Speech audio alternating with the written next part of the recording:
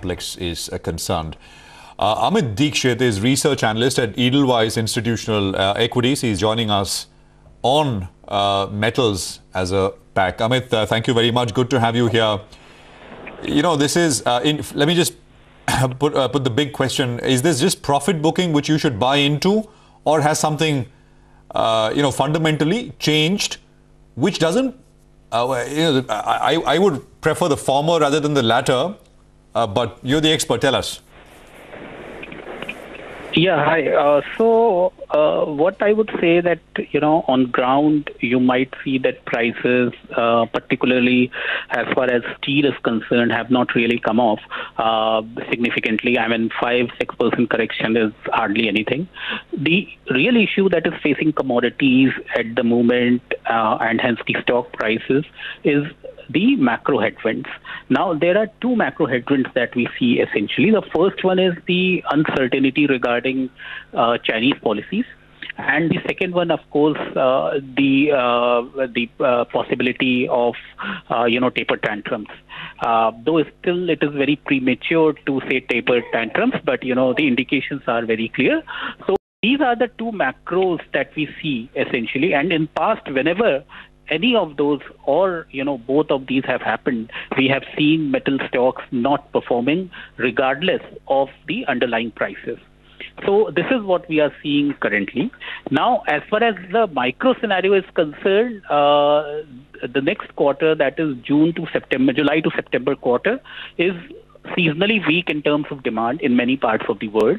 So clearly you know prices have a downward bias from here and this is the headwind that we see.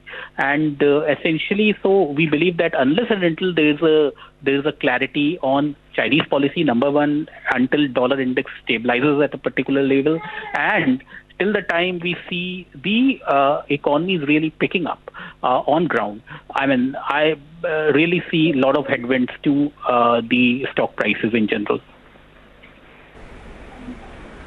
Okay, Amit, uh, that's uh, pretty cautious. Um, you know, morning. This is Rima here. You know, Manisha just two minutes back put up a very interesting table where she highlighted how copper has fallen 12% from its peak levels. Commodities like aluminium, nickel, zinc, lead are you know off about five to 10% from their you know record levels.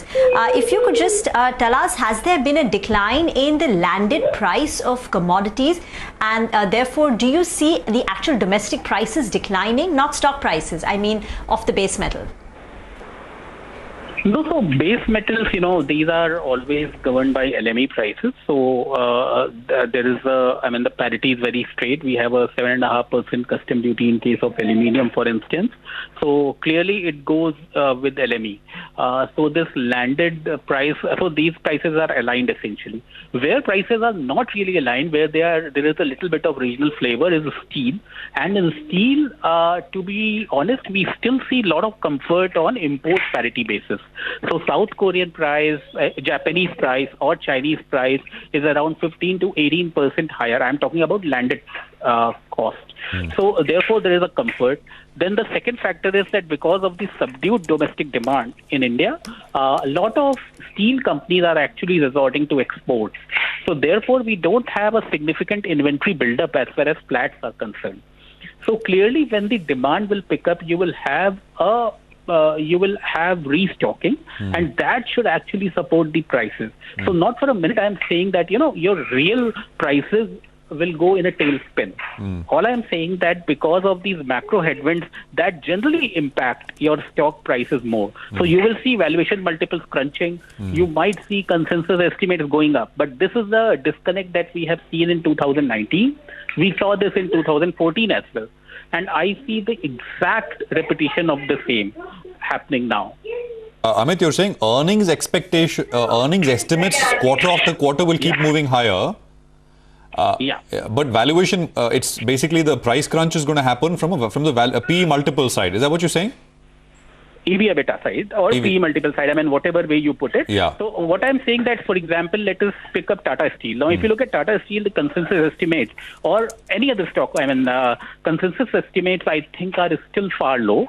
So as you know, uh, the quarters go by, Q1 FY22, you will find people raising their estimates again for FY22. Even in Q2, people will raise their estimates. Uh, I mean, uh, please uh, be cognizant of the fact that we are in a new normal as far as steel is concerned, in particular, where China is not likely to export much. So therefore, regional market balance would remain far more benign than it was in the past. So clearly, I'm not saying even for a minute that prices will fall to $500. All I'm saying that even if prices don't increase or if they remain range bound, then couple it with my macro headwinds, and you know the stock performance would be quite constrained. With, uh, so this is uh, in a way uh, uh, this is linked to interest rates, right? And what it can do to valuations. That's a, a large macro variable. But if that were not to uh, play out, I mean, if this is uh, and this has happened in the pa- past, right? I mean, the Fed during important junctures says something, the market takes it one way, and then realizes a few days later, and then you know the past trend resumes. So, so then, so what happens then? Will will your advice change in that sense, or the outlook change that stocks can uh, fall based on valuations crunching a little bit? Yeah, so if these macro, if we see a little bit respite in these headwinds, if we see some, you know, uh, I would say definitiveness in uh, Chinese uh, uh, Chinese commentary, the the real issue here is that you know the uncertainty. Essentially, if you know, let us say Chinese authorities come and say that this is the minimum level of price that we would be comfortable with, then everybody puts it in the model, and you know, life moves on the uncertainty is really a killer. And if you look at uh, Chinese prices, I'm, I, I'll just spend one minute on it. If you look at Chinese steel prices, for example, even after all this, even after falling 20% from the top, they are still well at the 98th percentile of past 10 years. If you look at Chinese profitability, despite falling off uh, from the peak, it is still at 83rd percentile. So clearly, we are seeing a very high profit level, and that authorities would take cognizance of. So clearly, these are this uncertainty is something that will hang on with the sector for a while. And ever since this uncertainty started, of course, dollar index and all is a very recent thing. Uh, ever since this uncertainty started, uh, these steel stocks were quite range bound. Dollar index, of course, impacts base metals more than steel. And uh, I uh, I take a point that if you know, let, let us say dollar index stabilizes at 93 or something, then you will find that you know these stocks will find their bottom and start going up again, definitely, because then earnings will take over. But as of uh, as far as you know. Uh, ferrous is concerned, uh, we are clearly on a little bit more sticky wicket at the moment.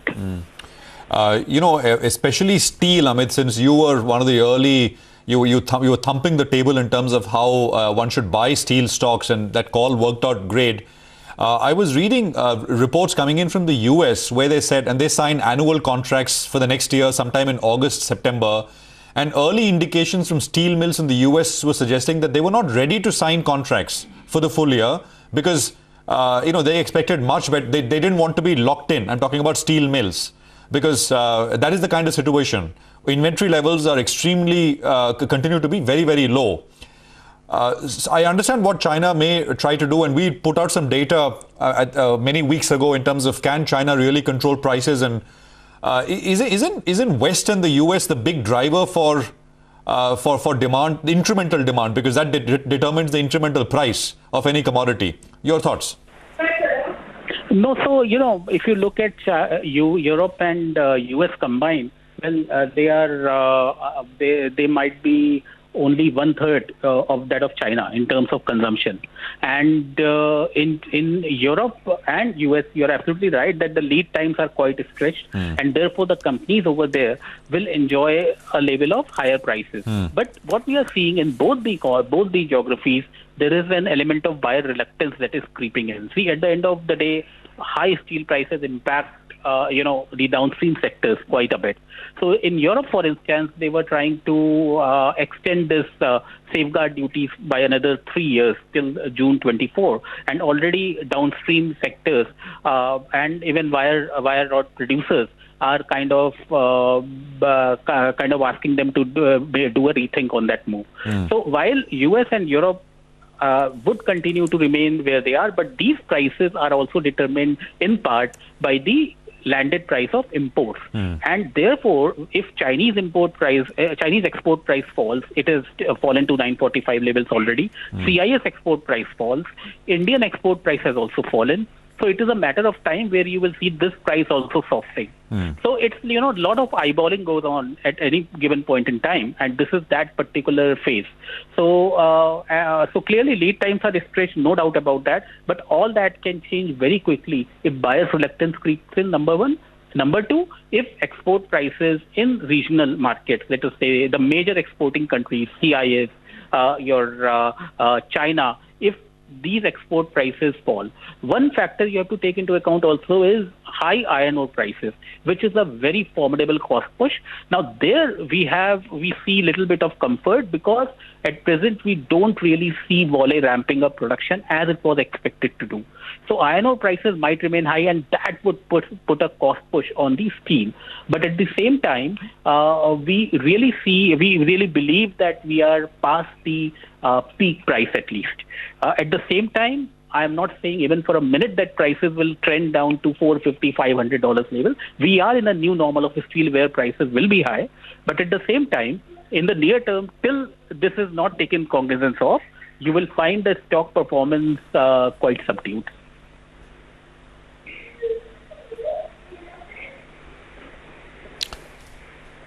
Uh, all right, Amit, thanks very much. Uh, great explanation and really helps to uh, put things in context, which you have done for us and our viewers. Thanks indeed, Amit Dixit, the Edelweiss, for joining us on uh, commodities as a, a, pack and why you need to be a little bit more cautious, macro environment, seasonal weakness, etc.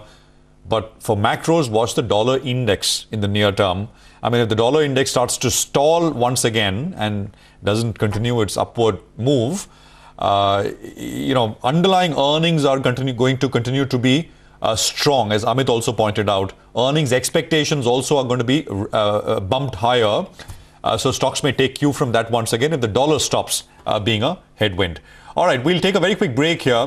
we'll come right back. my colleague Nimesh is going to join in with some very interesting data, which points to, you know, what was happening in the market, the rising amount of uh, participation in some areas, rising froth, all of that quantified through numbers with Nimish in just a bit.